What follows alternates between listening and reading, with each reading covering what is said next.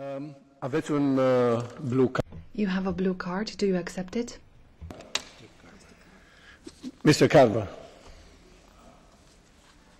Thank you, Mr Smith, for accepting my blue card. As someone who seeks independence for his own nation from a bigger United Kingdom, does he understand the aspirations of the South Arabian people who seek, after such distress and this long history of being in a situation where a largely Sunni part of the Yemen is currently under control from a, new Shia group, does he understand actually that perhaps independence might be a good option for South Arabia here?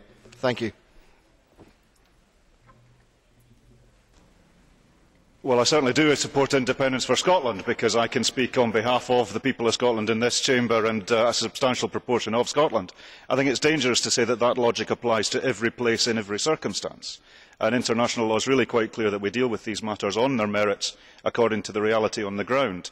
I myself am fairly relaxed about constitutional change, but that must be managed by the international community, peacefully and democratically achieved, and with the support of precisely the organisations like the European Union who must engage in state building because the problem that we have in Yemen is rooted in the fact that the people of Yemen see nothing in Sana'a or indeed any capital that they are looking to to actually support them.